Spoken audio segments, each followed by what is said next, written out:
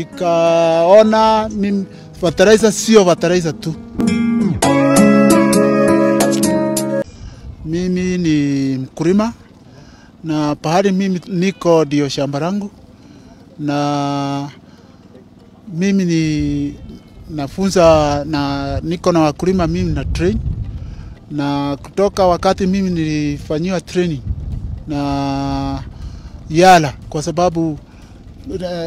wamenitrain wa mara kadhaa na mambo ya nutrition ya mimea, na hapo bereni nilikuwa natumia ile fertilizer tu, mimi nilikuwa nataka kutumia, lakini wakati niliona na nikasikia, wakati nilipatia hiyo masomo nikaona